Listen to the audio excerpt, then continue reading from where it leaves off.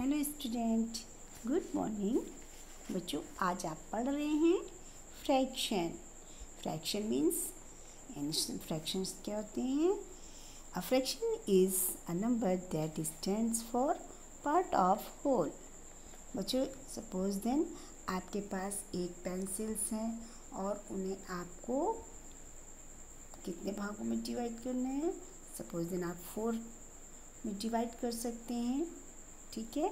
Four friends को आपको देने हैं। तो आप कैसे डिवाइड करेंगे? एट डिवाइडेड बाई फोर तो सभी को कितने कितनी मिलेंगी? टू टू यानी आप इसको फ्रैक्शंस को लिख सकते हैं। एट अपॉन फोर जैसे यहाँ पर one upon four one upon five इसे हम क्या कहते हैं? इन्हें हम फ्रैक्शंस कहते हैं। बच्चे, जैसे वन अपॉन टू है तो इस फ्रैक्शन को हम हाफ़ पढ़ते हैं। वन अपॉन फोर को वन अपॉन फोर को क्या पढ़ते हैं?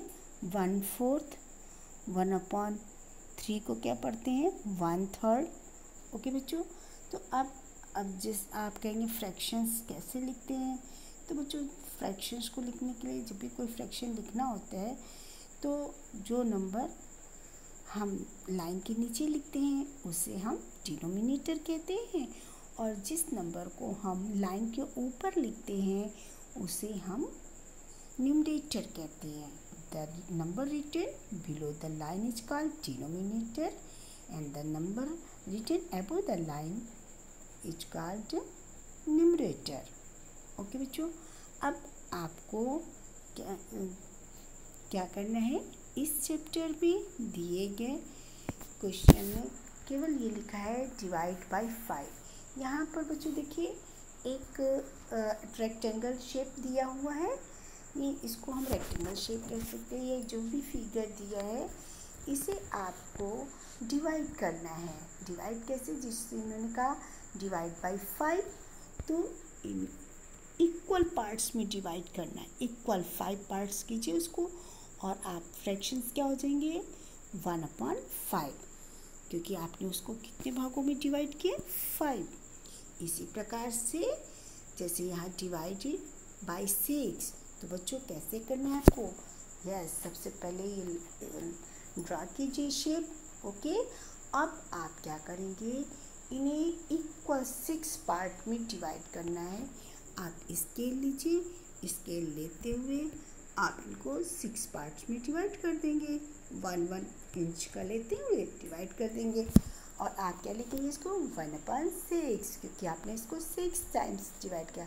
अब डिवाइडेड बाई थ्री जो अब कितने पार्ट्स में डिवाइड करेंगे आप इसको? यस थ्री पार्ट्स और वो थ्री पार्ट्स इक्वल इक्वल माने एक ही जैसे होनी चाहिए। ये नहीं कि कोई छोटे, कोई बड़े नो इसलिए आपको इसमें स्केल यूज़ करना है। तो बच्चों, अब आपको समझ में आ गया है।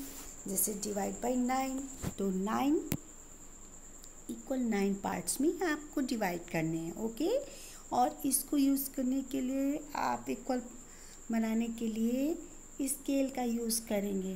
तो बच्चों, अब आपको समझ में आ गया है? अब दी गई इस वर्कशीट को आप अपनी इसी कोर्स बुक में ही सॉल्व करें पहले। ठीक है बच्चों? आपको समझ में आ गया होगा बच्चों। तो ओके बाय बाय